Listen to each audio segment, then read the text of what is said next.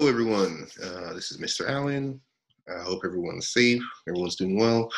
And today I want to go over identifying mammals, birds, fish, reptiles, and amphibians. Now, um, yeah, I didn't. I don't believe we've gone over this in too much details in class. So I want to go over the definition of each with you and some interesting facts. All right, so amphibians. What is an amphibian? Amphibian, an amphibian is a small vertebrates, meaning it has a spine. Vertebrates just meaning it has a spine that have moist skin, live in water or moist environments to survive.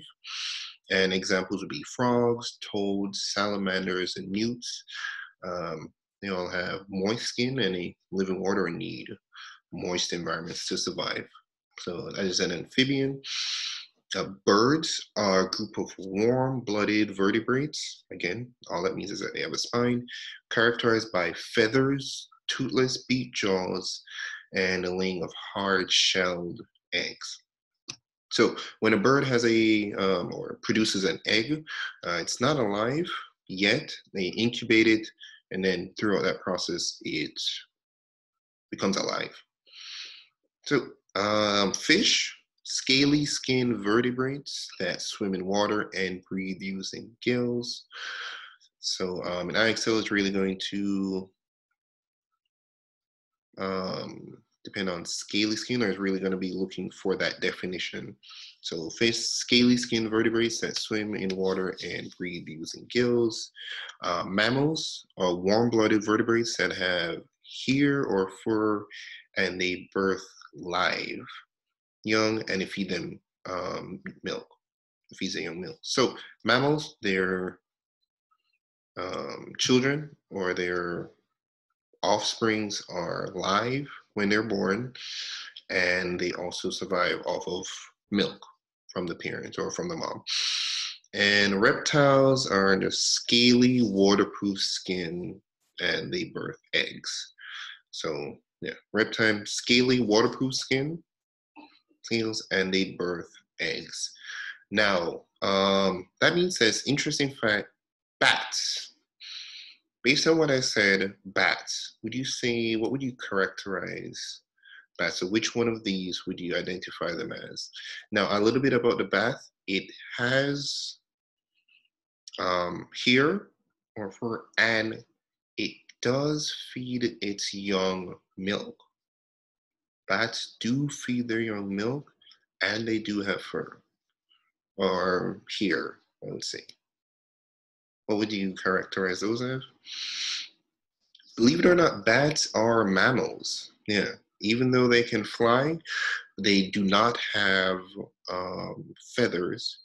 And there's no such thing as a featherless bird. All birds have feathers. So yeah, even though they can fly, bats would be characterized as mammals. I thought it was interesting. Now, um, what I want to do is I want to actually go over some imagery with you, see if we can figure these out. So it says select the reptile. So if we were to go back to what we, so reptiles are scaly, waterproof skin, um, skin and they birth eggs.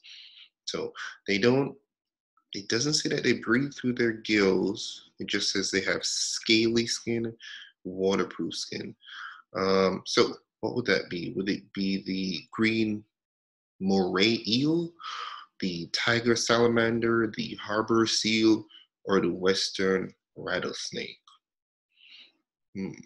Let's go over them some more uh, if we were to break it down. So if we look at the green moray eel, um, and scaly skin, but it swims in water and breathes using its gills. So I don't think that would be that option. A tiger salamander. Um, the skin is it's a little bit deceiving, but I believe it would be more moist skin or uh, living in um, water environment. So it wouldn't call it exact scales. Um, the harbor seal, that's hmm, that wouldn't be a bird, it wouldn't be an amphibian, it wouldn't be a fish because it doesn't have scaly skin. It more has hair or fur on it. I think that would be more be the mammal. And then western rattlesnake, I believe would be the only real option that's scaly skin that is not moist. So scaly skin, boom, there we go. All right, select the amphibian. We have an Asian elephant, a salmon, a olive toad, and then a barn owl. So what was the definition of amphibian? Again, if we go back, it's gonna be lives in water or moist environments to survive, and small vertebrates. They include frogs, toads, salamanders. So we see uh, salmon is fishing. Salmon is fishing. Well, the salmon is swimming in water, so that's more breathing through its gills, which would be a fish. Asian elephant is an Asian elephant. The barn owl has feathers. Well, this is a mammal. Barn owl has feathers, and then the olive toad is in a moist environment. We can see that it's not breathing in water, but it's in a moist environment. So I believe the olive toad would be best choice for amphibian. Select the fish. We have a mandarin fish, an emu, a giraffe, and a barking tree frog. I feel like they just gave us the answer because the word fish is actually in there. So we're just gonna keep moving with that one.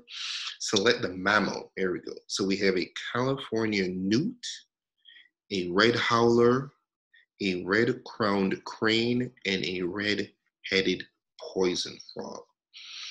Now, looking at these four images and then going back to the definitions that I have, which ones do you think it would most likely um, fit under? I'm just gonna underline these to differentiate them a little bit more. Okay, I think the mammal will be the California newt, red howler, or red crown crane, or a red-headed poison frog. If I were to say it's a red-headed poison frog, that's the mammal, would I be correct? No, I would probably be incorrect because this is more of a amphibian. It would be the red howler. That would be the mammal. That was five questions? Oh, four in a row. Okay. All right, select the two birds. So we have a robin, an American alligator, a keel-billed toucan, and then a fruit bat. What would be the two birds that we're looking for? What's the definition of the bird? Again, we know it has to have feathers. It has lays eggs. And what else? What's this say about the bird? Feathers, toothless jaws, and group of warm-blooded vertebrates. Mm, so which one of these have toothless jaws, feathers, and, and if I were to say, I believe the toucan, I like the toucan, and I were to say the fruit bat, would I be correct? No, I'd be incorrect because as I went through in the beginning, fruit bat is actually a mammal. It is not a bird, even though it can fly, which is a lot of people are, um, don't know. But yeah, I believe the robin and the keel-billed toucan would be two birds. Awesome. Select the two reptiles. We have a giraffe, a Hermann tortoise, a seahorse, and a leaf-tailed gecko.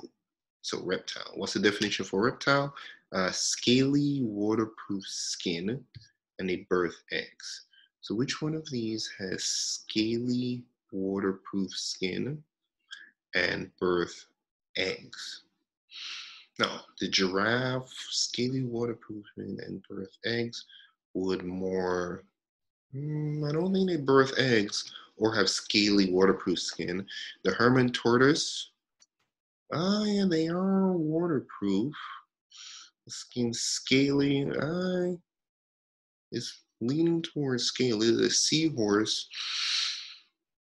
Wouldn't really refer to it as scaly, and it is breathing water as it's underwater. So that may have knocked out the seahorse. And then the leaf-tailed gecko, um, yeah, is more, a gecko is more along the lines of like um, lizard vertebrate, has that scaly skin. It lives in moist areas. If I were to say the leaf-tailed gecko and the Hermann tortoise, would that be correct? Awesome. That would be. All right, select two fish. All right.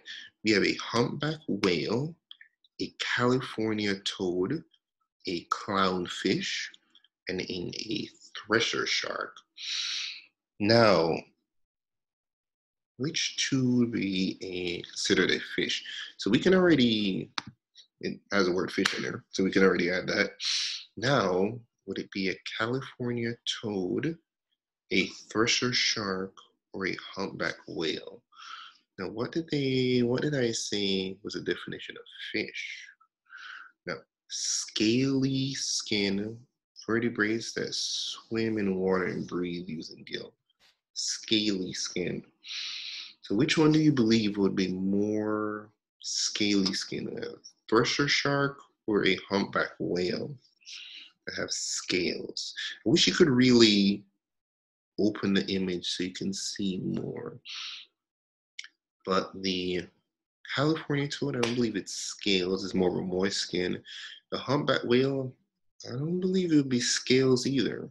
It's more, the skin texture is more, I would say like dolphin-like. It's not really scaly. So I would say thresher shark. That'd be correct. All right, I probably should be wording it, but whatever. Um, select the two birds. All right. So we have a bald eagle, an emu, a Madagascar day gecko. All right, got it. And a Suriname horned frog. Interesting looking frog. Select the two birds. What's the definition of a bird? Has to have feathers, has to have a um, toothless horned beak, and has lifeless. I'm, um, I'm sorry, not lifeless. It has birds' eggs. I think birds' eggs, and I believe yeah, toothless, beaked jaw, yeah, and then laying hard shell eggs. All right. So which one of these has feathers or a jaw, beak? So I, which one do you think would be? Which two? Now, if I were to say, um, I think the Suriname horned frog and the emu, would I be correct with these two? No, I would be incorrect because this doesn't have feathers or the jaw. And I believe the bald eagle has feathers, the emu has feathers. And yeah, this is more moist skin. So I would say the bald eagle and the emu. Would I be correct? I would be correct. All right, select the two reptiles. We have a fire salamander, a emerald tree boa, a elongated tortoise, and a human. So select the two reptile. What's the definition for a reptile?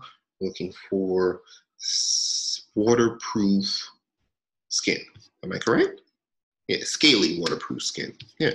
So which one of these has scaly, waterproof skin? Hmm, scaly, waterproof skin. What if I were to say the human and the emerald tree boa? Would I be correct? Uh, no, I'd be incorrect because humans don't have scaly, waterproof skin, but elongated tortoises have scaly waterproof skin, and salamanders' skin are more moist or water. So the fire salamander would be more of a amphibian. Am I correct? I am correct.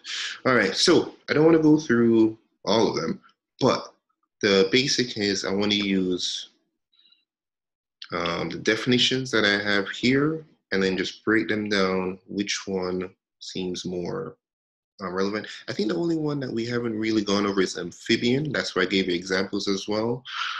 And yeah, you're gonna look for these characteristics for each. Um, with birds, it's gonna be warm-blooded vertebrate, just meaning it has a, um, a spine. Characterized by feathers, toothless, beaked jaws, and enlarged hard shell eggs.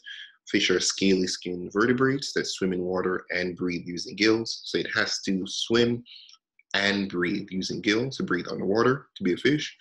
Uh, mammals, warm blooded vertebrates that you have hair or fur and birth live young and feed their young milk. And then reptiles are just scaly, waterproof skin. So like turtles, turtles, turtles, and so on. Um, yeah, uh, if you have any questions, you know, definitely come back here and then um, look at this example or reach out to me. But for these, it should just be these five and then just breaking down how to differentiate them. Yeah, so thank you and you guys have a great day.